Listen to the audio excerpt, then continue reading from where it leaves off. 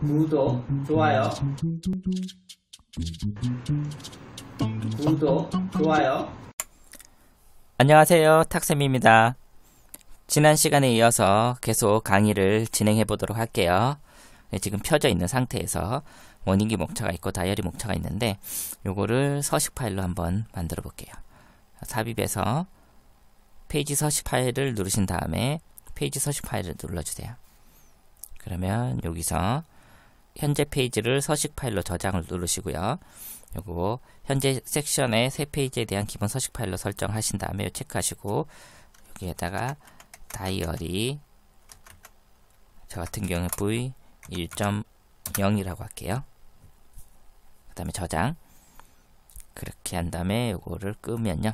이제 앞으로 여기에 새로운 페이지가 만들어질 때마다 이 다이어리 목차 그리고 원인기 목차가 생길 거예요. 한번 여기서 페이지 추가를 한번 해볼게요. 그럼 여기 보시면 똑같이 지금 새로 만들어진 게 이렇게 만들어진 거예요.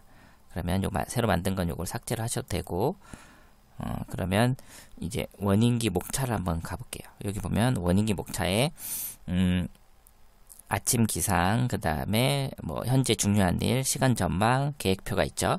그러면 어, 아침 기상에서 여기서 여기서 이건 다이어리 목차잖아요. 다이어리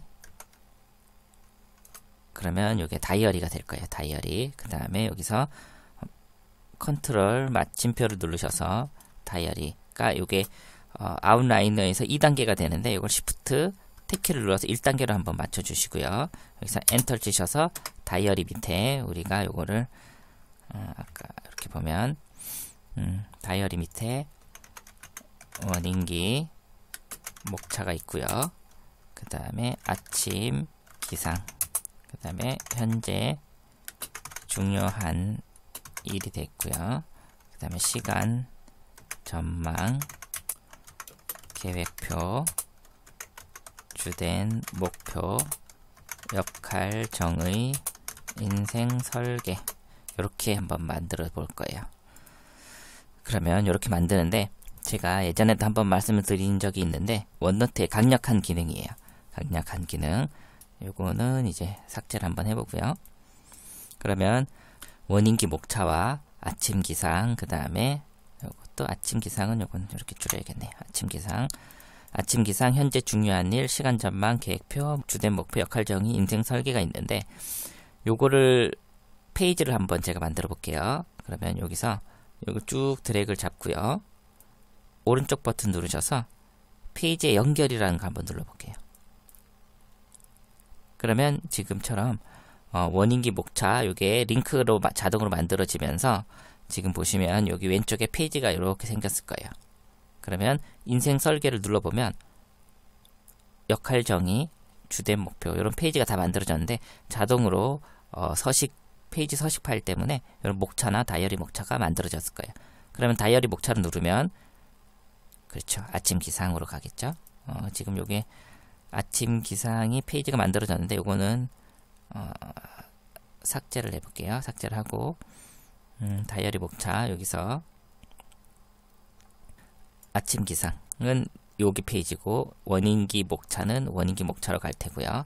그러면 원인기 목차에서 보시면 여기서 다이어리 앞에다가 어, 놓고 미음을 누르신 다음에 이거를 100%로 놓을게요.